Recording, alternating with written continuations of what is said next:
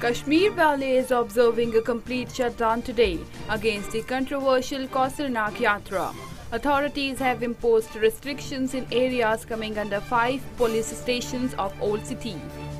Hurriyat chief Syed Ali Gilani had appealed people to observe shutdown against the new Yatra which he considers a threat to the majority people of Kashmir. Shops and business establishments are closed, while public traffic is off the roads though mild private transport is plying in the civil line areas of Srinagar.